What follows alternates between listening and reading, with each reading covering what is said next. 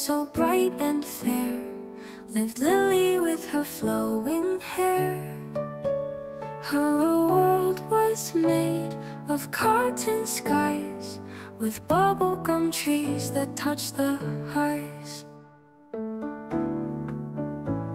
Her pony poppy pink as can be And blossom the fairy small and free. Would ride with her